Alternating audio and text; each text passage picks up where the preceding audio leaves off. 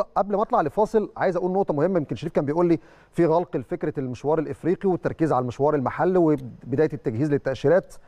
هي معلومة بس يعني اصبروا كده خلال اليومين الجايين لما نعرف تفاصيل الاجتماع. بس هي معلومة برضو أقولها لكل السادة المشاهدين عشان تسمعوها لأول مرة هنا من خلال برنامج الترند على شاشة قناة الأهلي.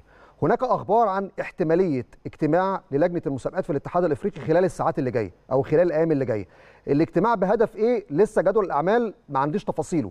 هل ممكن الاجتماع عشان يشوفوا جدول التنظيم أو اللجنة المنظمة تشوف الاستعداد للمباراة النهائية في المغرب؟ ولا هيشوفوا أي أمر تاني. أنا لسه لغاية اللحظة دي ما أعرفش تفاصيل الاجتماع بس بيتردد داخل أروقة الكاف إن في اجتماع خلال الساعات الجاية للجنة المسابقات. ده هنعرفه خلال الفترة الجاية وبإذن الله هنكون معاكم أول بأول ونقول لكم كل الجديد خلال الفترة الجاية قبل موعد النهائي 17 7 في المغرب بين الأهلي وكايزر تشيفز